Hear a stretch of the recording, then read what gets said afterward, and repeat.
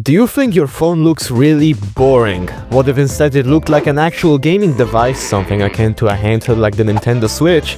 But you don't know how to do that. Then stick around because I'll show you how you can basically turn your phone into a portable console. And a hybrid one too. Let's begin.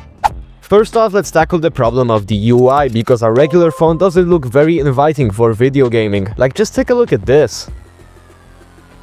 Man, that's just depressing. This is an easy problem to fix as all you need to do is find the right launcher. There are a few options out there, but the one I use is called Console Launcher, and it's specifically made to mimic the look and feel of an actual game console, which is perfect for this situation. You can download it from either the Play Store, itch.io or GitHub, which is the recommended option as this one has all the latest features from what I understand. Not the App Store though, per usual. So if you're on an iOS device, you can skip ahead to the next chapter. To unlock all of the customization options of console launcher, you're gonna have to spend 5 bucks, which I personally did and I think it's worth it. After purchasing the premium version, you can now get to customizing the interface by changing the wallpaper, app icons and their shapes, background music, color scheme, setting up the emulator frontend if you're into that, and lots of other stuff. With this, you can end up with many interesting designs, like this beautiful emulation-focused setup, or this one inspired by the PSP, Or even this. I have no idea how the f this game made this. But I went for the simple look with all the games being displayed right away. It's not the most creative but it works for me since it doesn't take long to make. I'm not playing games on emulators right now. I can quickly add additional games to the collection and this still looks good and like a console. If you want to replicate this look, first you're likely gonna have to remove whatever apps are displayed by default, copy over the settings that you see on screen right now to get the right icon shapes and things like that.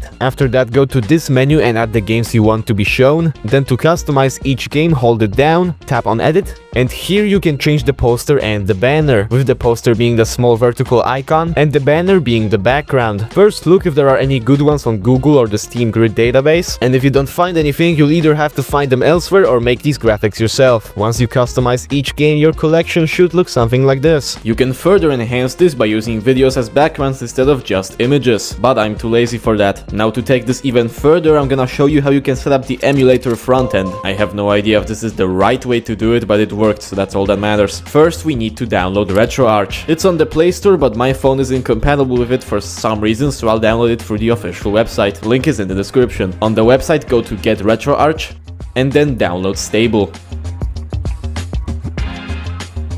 Let's say we want to play a Super Nintendo game. To do that, go to Load Core, download a core, search SNES and choose one, I guess. Do your own research on which cores are the best, cause I have no idea. I'm just gonna choose this one. Then go back to Console Launcher and go to Settings, then Front End, scroll down to the part that says All Platforms, click on the plus, select the console you want to emulate, now select the folder where your games are stored,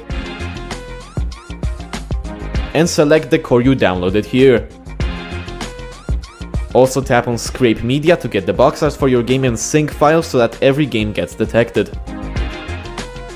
Now at the end of your game list, you should see a new folder with your games. All that's left now is to select a game and play. There's a ton of settings you can change here, which I'm not gonna bother explaining. There's a ton of tutorials for this out there anyway, so once again, you've gotta do your own research. If you want, you can also set console launcher as the default launcher for your phone. I don't do this personally because it's in landscape only, but if you want to, then head over to settings and you should immediately see the set as default launcher option. Press this button, select console launcher, and you're done. Also remember that you can also add regular apps to the menu too, so you're not just stuck with games if you do this. Another awesome feature Console Launcher has is integration with Discord. If you log in with your Discord account and use Console Launcher to turn on a game, it will display it on your profile. Or at least it should, because it doesn't seem to work as I'm making this video. But once this works, this will probably be my favorite feature. I mean, what's better in life than sharing what mobile game you're currently playing with members of the Mobile Games Network Discord, am I right? But if you don't have any games to put on display or you want to expand your collection, you're gonna have to find new ones somehow. For the purpose of this tutorial, I'm gonna assume that you already have games, but if not, then I actually have a whole video on the topic which will be linked at the end. So if you have games, you've gotta have a good means of controlling them, as touch controls for some games just feel like shit. But with so many options on the market, the question is, which one should you choose? I think there are two main types of controllers that you can get. Controllers that are made to attach to a phone, and controllers that can attach to a phone. I personally use the 8BitDo 2 Pro 2, as it works not only with phones, but also computers and the Nintendo Switch. So for me, a multi-purpose controller like this just made more sense. 8BitDo also has their own controller just for mobile gaming, but other options include the Backbone One, Razer Kishi and GameSir G8 Plus, among many others. Now these controllers are quite bulky and currently there is no smaller option available, but there will be one in the future and it's called the MCON. It's a controller that attaches to the back of your phone and slides out PSP Go style, and it's at a size where it can easily fit in your pocket. This isn't a sponsorship, I'm just really excited for this controller. Link to its Kickstarter campaign and videos about it are in the description.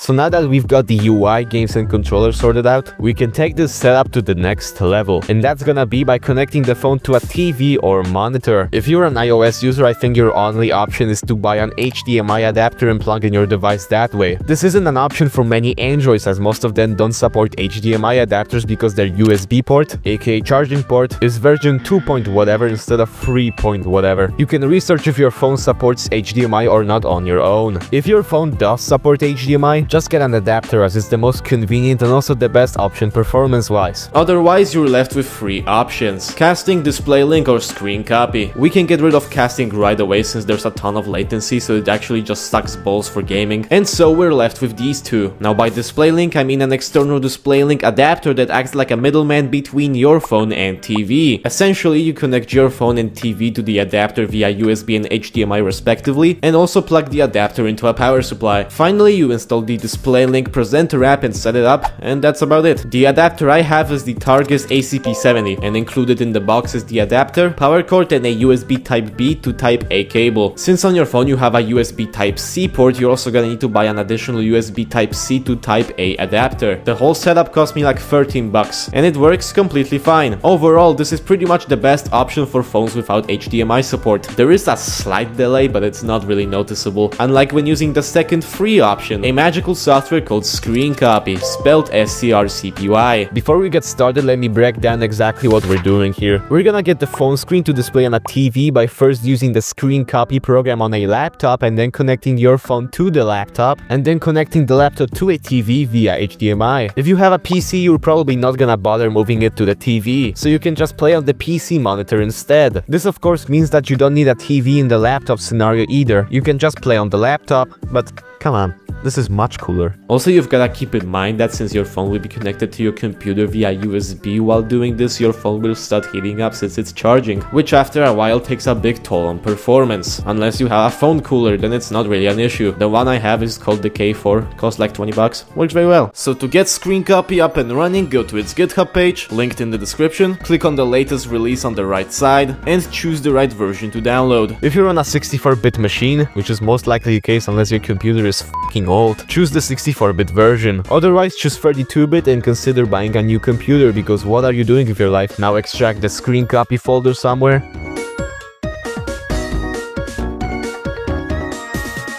And now go to your phone and on it you're gonna have to enable USB debugging. To do this go to your phone settings, then about phone, and you're gonna have to tap something multiple times in a row. It can be build number or something else. On my phone it's MIUI version. After tapping in a whole bunch you'll unlock developer options. If you don't know what you should tap, just search it up like this. Then go to developer options and scroll down until you find USB debugging. Enable it and you're now ready to plug in your phone to your computer. When you plug in you're gonna get this pop-up. Check this box so you don't have to see it every time you plug your phone in and accept. If you're using all this USB debugging nonsense for the first time, double click on adb.exe. Now in the screen copy folder, type in cmd in the folder path and then in the command prompt, type in the command you want. I included a guide in the description, and so once you cook up the perfect command for yourself, you can copy the command, make a new text document in the screen copy folder, paste the command into the document and save the file with the .bat extension. Make sure to select all files below the file name. By doing this, all you need to do is just double-click the batch file to start up screen copy with your configuration. The configuration I use will be available in the description. Now at this point, you may see that your phone's aspect ratio doesn't match your laptop or monitor or TV, aka there's black bars on the top and bottom. To fix this, you can check out my tutorial on changing your phone's screen size, which will be linked at the end. Now change your phone's resolution so that it has the same aspect ratio as the TV. In most cases, it's gonna be 16 by 9, so the resolution will be 1920 by 1080. HD. Know that some games may not display correctly, but most should work just fine. If your game still has a black bar on the left side, that's probably because of the camera notch. To avoid this on my phone, I have to go to settings, look up notch, go to notch in individual apps, find the game with the black bar, and select always show notch. Keep in mind that on other phones this setting can have a different name and be located somewhere else. Now just connect the controller, boot up console launcher, and enjoy the most stupidly convoluted way to play mobile games. Or you can always ignore all this and get a cool stand for your phone instead, which will make your life 10 times easier while achieving a somewhat similar effect. Now how well does this setup actually work? For this demonstration I'm gonna play Levelhead, excellent game by the way, and the delay when jumping for example is about 165 milliseconds. It is playable, I can complete levels without much issue, but definitely not ideal. Also some games can react weirdly when playing with this setup, like Swamp Attack, a fantastic tower defense game by the way. For some reason the screen can just freeze sometimes, and you have to pause and unpause the game to get it to work again. So, you know, there are some issues, but at least it looks pretty dope, so I reckon it's worth it. Like, isn't this just awesome? Cause I think it is.